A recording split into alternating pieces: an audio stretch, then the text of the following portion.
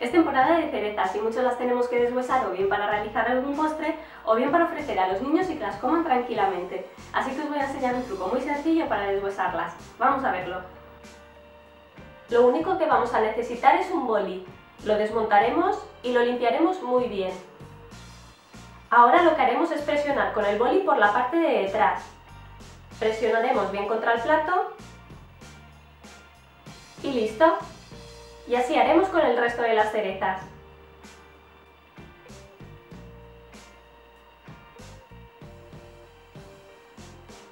¿Habéis visto qué truco más sencillo? Espero que os haya gustado. Si es así, no olvidéis de darle a me gusta y de suscribiros a mi canal. Ya sabéis que podéis encontrarme en Facebook e Instagram. Nos vemos en el próximo vídeo. ¡Chao!